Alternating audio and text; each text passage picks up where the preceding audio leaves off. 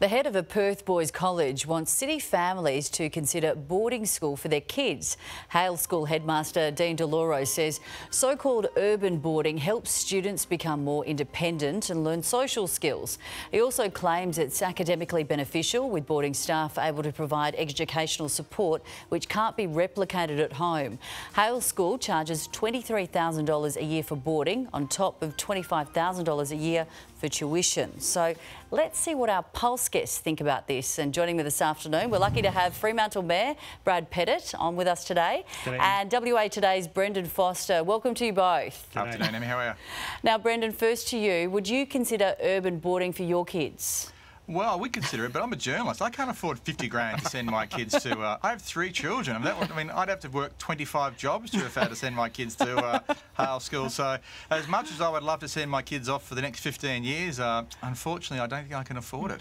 It is a pretty pricey way. Uh, would you, perhaps in their later years, the 11 and 12, when they're probably, you know, focusing on their studies? No, no. No.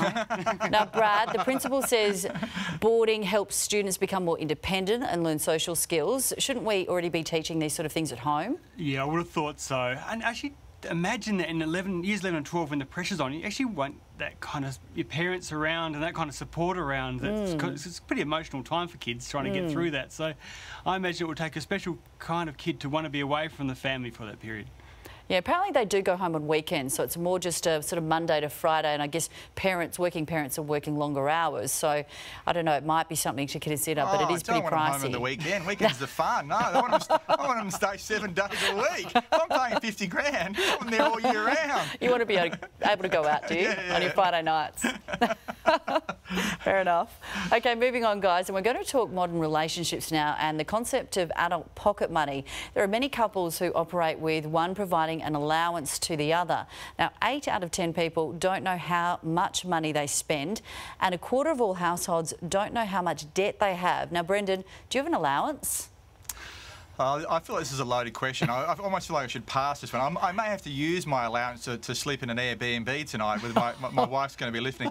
I think if anyone deserves my, anyone deserves an allowance, um, uh, my wife probably does. But uh, look, we have a shared account, and look, mm -hmm. you know. I probably spend way too much on, on slow horses, and, and uh, she probably spends way too much on coffees. But I think I think it balances itself out at the end. I think. Okay. Now, Brad, what's wrong with this scenario? What if one person is just really bad with money? Yes, that's it's very true. I can imagine why some people do it if you've got someone who's uh, who just likes to get the get the credit card out. But it's actually interesting. I was saying to Brendan earlier, my parents used to do something like this when, when I grew up. I remember mm. Dad bringing home the, the old paycheck that was just, you know, was actually money and dishing out, you know, here's the food, the, the food box, and here's my mum's allowance for the next fortnight, and those kinds of things. So maybe it's a bit of an historical hand-me-down to the way that our parents did it, so we kind of keep doing the did same Did you get an allowance? They give you an allowance? Yeah, I used to get paid 10 cents for every year I was. So when I was seven, I got 70 cents.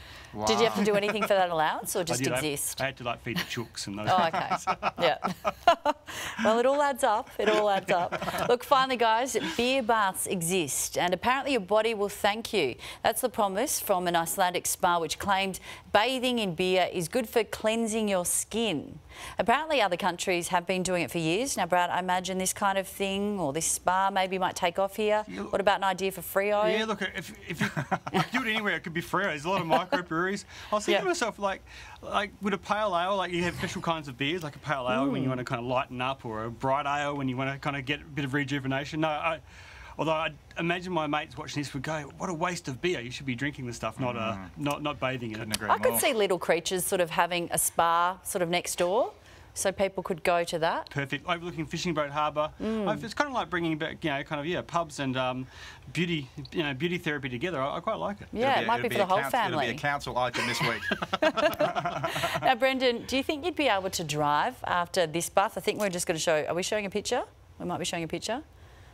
I don't know, but if you yeah. had a bath, I, I guess. Think, I just you... think the irony of a beer being healthy for you is just you know completely right. Mm. Look, if I if I was in a, a, a, beer of bath, there's a good chance I would drown. Let's be honest. I, I would probably drink most of the beer and then probably just pass out and drown the last two inches. So it's probably not a very no beer and baths for me are not going to go very. So it might be something that needs supervised visits or a, massive plug for me to, for me to pull out. No, no.